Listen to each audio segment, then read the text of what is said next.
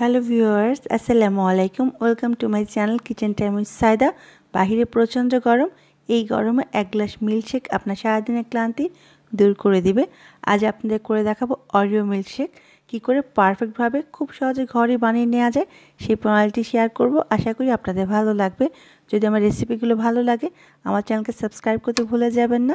কথা না বাড়িয়ে চলুন জেনে নিই অরিও মিল্কশেক বানানোর প্রস্তুত প্রণালী।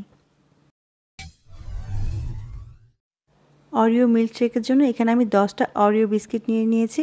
এখানে আমি দুই কাপ দুধ জাল দিয়ে ঠান্ডা করে নিয়েছি। আইস লাগবে চার পাঁচ টুকরা।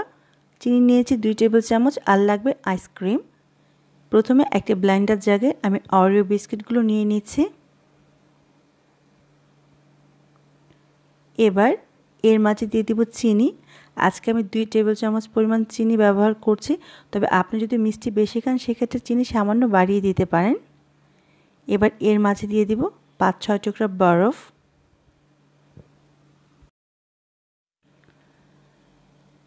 এবার যে দুধটা আমি জাল দিয়ে ঠান্ডা করে নিয়েছিলাম, এই দুধটা কিন্তু ফুল ক্রিম মিল্ক।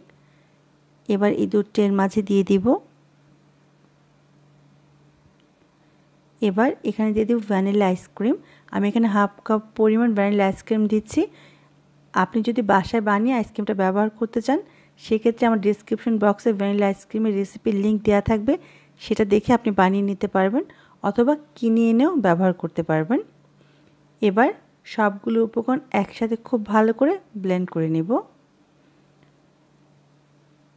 দশ থেকে পনেরো সেকেন্ড ব্লেন্ড করে নিলেই তৈরি হয়ে যাবে খুবই মজার অরিও মিল্কশেক আমি গ্লাসটাকে একটু ডেকোরেশন করার জন্য চকলেট সিরাপ দিয়ে দিচ্ছি। আপনি যে কোনো সুপার শপে এই চকলেট সিরাপটা কিনতে পারবেন। যদি চকলেট সিরাপ ব্যবহার করতে না চান, সেক্ষেত্রে আপনি চকলেট বার গলিয়েও এভাবে ডেকোরেশন করে নিতে পারেন। এটা একেবারে অপশনাল, দেখতে সুন্দর লাগবে সেজন্য আমি এই ডেকোরেশনটা করে নিয়েছি। এবার এই গ্লাসের মাঝে আমি অরিও মিল্কশেকটা নিয়ে নিচ্ছি। এবার এর উপরে আমি হ্যাভি ক্রিম বা হুইপ ক্রিম দিয়ে ডেকোরেশন করে দিচ্ছি। এটা একেবারে অপশনাল। এবার এর উপর আমি চকলেট সিরাপ দিয়ে দিচ্ছি। দেখলেন তো কত সহজে তৈরি হয়ে গেল। খুবই মজার অরিও মিল্কশেক যদি আমার রেসিপিগুলো ভালো লাগে, চ্যানেলকে সাবস্ক্রাইব করে রাখবেন পরবর্তী রেসিপির জন্য। সবাই অনেক ভালো থাকবেন। আবারও দেখা হবে। আল্লাহ হাফিজ।